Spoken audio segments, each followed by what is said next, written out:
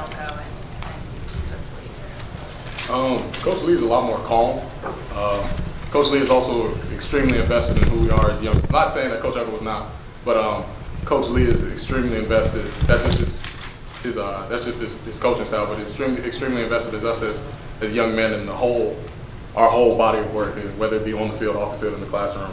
Um, just the way that we go about doing things day to day. Very, very encouraged and uh, excited about things that guys do off the field as well, um, and, and making sure that, that we that we that we live up to that expectation, the standard that we set for ourselves each and every day, on and off the field. Seems like he runs a lot with you guys just sort of community. Yeah, very energetic, man. Coach we see everything, man. You don't even realize he'll come over, he'll just like out of the out of the crowd, he just come over, hey, good job on that last play. Hey, like you know what I'm saying, correct this, that, or but Coach Coach Coach Lea sees everything, man. I love Coach Lea. I'm enjoying his uh, his coaching style.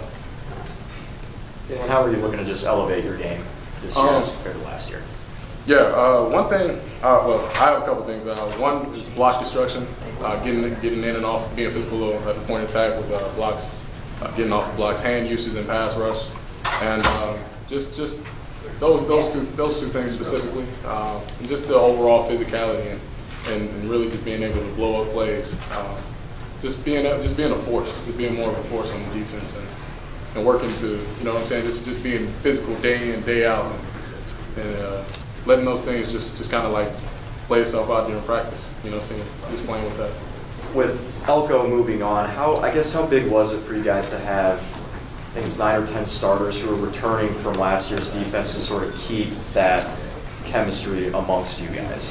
Um, I think that's huge, man. I think we only lost what now? We only lost one guy, so um, and Tavon moved over and, moved over. So I, I think it's, it's been great. I mean, Coach Elko's philosophy last year was always having the twos ready just like the ones. So because we knew that the twos would eventually, you know, especially with the D line, as much as we rotate, um, it's, it's, it's, it's huge for those guys to be mentally prepared and physically prepared to go ahead and fill in for those roles when guys leave to be able to step up and make plays. Daelin, how much better of an understanding do you feel that you have for the drop back position?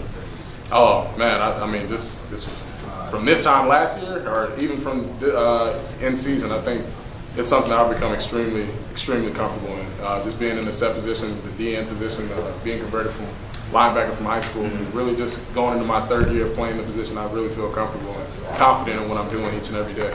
So it's, it's showing in my play, just how fast I'm able to diagnose and be able to react and go ahead and uh, just make plays. What are the biggest challenges of that position? Um, I just think the, the, the physicality of it. I'm up to uh, 260, about 260, 260, 263 ish. Um, and last year I was kind of two, I was like about 249. So about uh, just the physicality of the position in and out, and and being able to disrupt blocks and get off blocks and shed blocks, and being able to be a playmaker. I think it's been huge for me this offseason.